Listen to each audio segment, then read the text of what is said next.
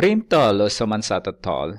Eh, många elever upplever att sammansatta tal är det så enkelt. Men sen kommer man till begreppet primtal, då ja, det blir svårare att förstå kanske. Men vi ska titta först på primtal, ordet primtal, eh, begreppet så här. Det står här att det ska vara exempel på primtal, 2, 3 och 5. Men jag ska tänka på så här. Om jag kan bara gruppera dem, om jag kan börja mellan mina kompisar, antingen väl, om jag, till exempel två, jag har två kolor, men jag har två kompisar. Om jag kan bara välja att antingen ger jag en var till mina kompisar eller väljer jag en av mina kompisar så ger jag båda kolor till, till, till den personen, till min ena kompis. Om jag kan bara välja två saker, två sätt, då är det primtal. Till exempel tre. Jag har tre kompisar, jag har tre kolor, jag kan bara två, välja på två sätt. Antingen ger jag varenda kompis jag har, eller ja, det får vara med två kompisar. Jag väljer en av dem och ger jag tre av dem. Så jag kan bara välja två sätt att fördela. Med fem till exempel. Jag har fem kompisar.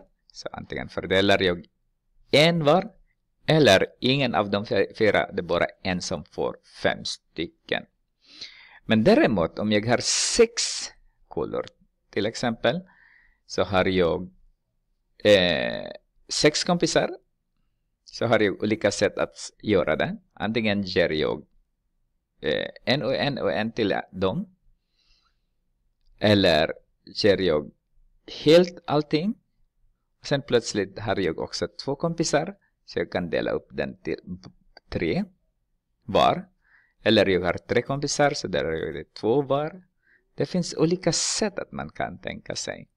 När man kan tänka sig att jag har olika sätt att tänka sig. Så då är det sammansatta tal. Okej. Okay. Eh, ja, det är lite abstrakt där. Men vi tittar. Det finns ett exempel här. Eh, här. Så här. Ser så. Ett sammansatt tal kan delas upp i fler faktorer än ett och talet själv. Ja.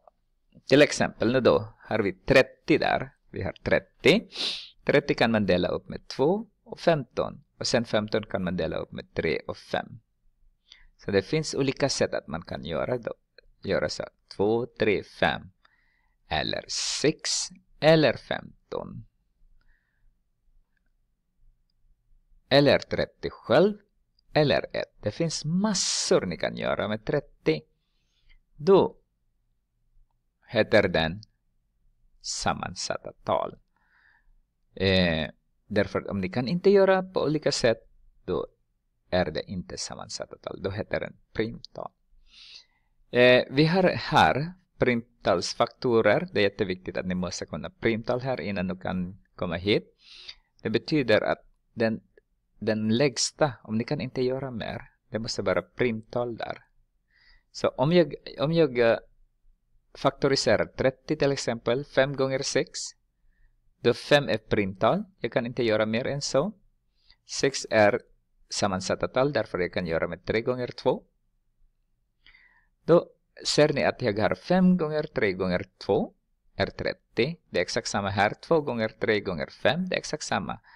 Om man kommer till den primtalsfaktorer, det blir exakt samma. Det är intressant att äh, er bok har tagit den tanken också här. Aritmetikens huvudsats är större. Alla heltal större än noll kan skrivas som en produkt av primtal på endast ett sätt. Det finns inget mer. Ni kan blanda på olika sätt, alltså 2 gånger 3 gånger 5 eller 3 gånger 2 gånger 5 eller 5 gånger 3 gånger 2. Det finns olika sätt att blanda, men det är samma siffror vi multiplicerar. Och ingen, och ni har lärt kanske i äh, mellanstadiet, Multiplikation, det är ingen betydelse med ordningen. Det spelar ingen roll vilken ordning har den.